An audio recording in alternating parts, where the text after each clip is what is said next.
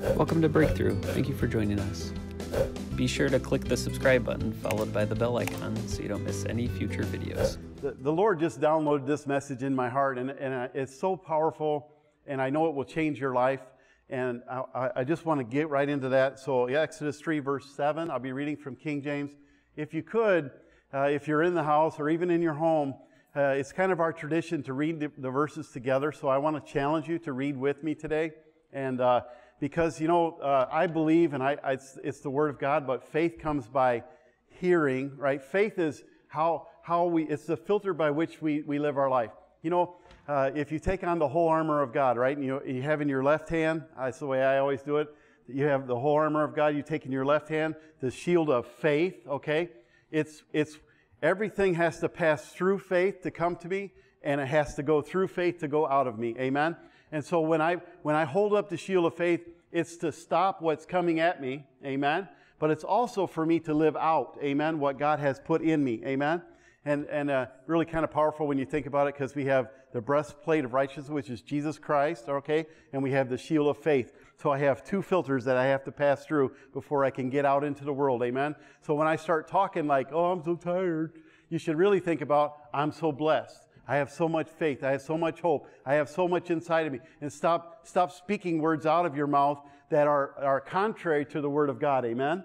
Let's start living out what God is. I'm not going to tell you that I don't ever get discouraged because I do. Amen. I get discouraged sometimes every day, okay? Because there's some stuff in my life when I look at it, I, I think it's impossible. But then I remember, I remember what God did for me yesterday. I remember the deliverance that He promises in the Word of God. I remember to lift my eyes to the hill from whence comes my help. Amen. Who needs some help today? Amen. We need, we need help. And that, I'm going to tell you, help comes from above. It doesn't come from anybody down here. Amen. God knows what He's doing when He made me. God knows what He's doing when He made you. God knows what He's doing when He give you all the gifts and all the talents that you have. He knew what He was doing. Amen. And all I have to do is just line up with what He says. Amen. I just got to line up with the Word of God and I got to stand on that. Amen. And I got to rise. Oh, I'm getting my head of myself. Hey, I? I've started preaching a little bit right there. Let me just back up and read for a minute, okay? Read with me. Read with me. Exodus 3, verses 7 through 10. Are you ready? On the count of three, really, really with your baritone voice, with a with that abdomen, you know, you gotta push that words out and act like you're act like you got a little boldness, okay? Let's just read together. Ready? One, two, three, go.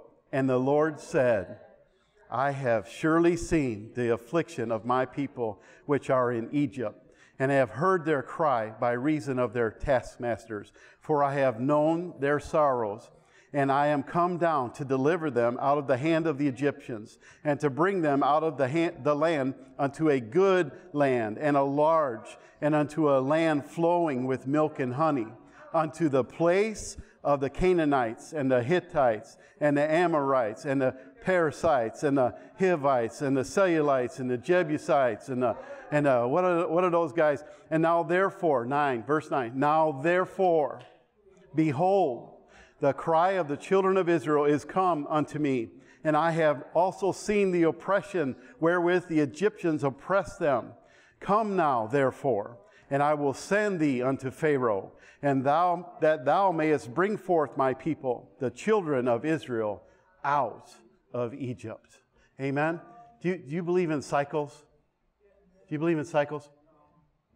Do you ever think that in your life you go through cycles? You know, you go through cycles, you get up in the morning, you go to sleep at night, right? You set your alarm probably for the same time every day during the week and probably for a different time on the weekend. Okay, you have a cycle in your life. You get hungry, right? You eat, you get full, okay? a little while goes on, you get hungry, you eat, and it gets full. You know, you know your, your hair my, uh, every, every three or four weeks, I go get my hair cut, okay? Because it keeps growing, all right? I don't know why it grows, but it just keeps growing. Sometimes I have to clip my toenails, okay? I don't know about you, but maybe you don't ever have to clip. Maybe your toenails don't grow. But it's important that you understand that there are cycles that happen in your life. And, and in this portion of Scripture, above and beneath, okay? Uh, I'm going to take verse 8 and slide it over, okay, and put a pin in it because I'm not going to talk about that this week. But I am going to talk about that next week, okay? Well, we slid verse 8 out, and you see a cycle that happens in these, in these few verses. You, you see a cry, right? There's some people crying. you guys know anybody that cries? you know anybody that cries? Come on. If you got a brother or you got a sister, come on, you know somebody that cries. If you, if you go to church building, you know somebody that cries. If you got a, if you got people you work with, you know somebody that cries. Okay, but there's a cry, there's a call. Come on. There's a call. Every time there's a cry, there's a call. I'm going to tell you right now, every single time there's a cry, there's always a call. Amen. And then, and then we have a cause, okay? So we have a cry, a call, and a cause. Say that with me together. Cry, call, cause, okay? So I'm going to ask, let me ask you, I'm going to go backwards with you. What is your cause this morning? Let me hide behind the pulpit. what, what's your cause? Because, see, some of us have a cause, but we don't really know what it is, but everybody else does. Okay? Everybody that talks to you knows your cause because you're always talking about it. That's really powerful, Pastor Everett. I hope, I hope, I hope everybody else gets that. Because nobody wants to really admit it. Okay? We don't really want to admit that our cause is really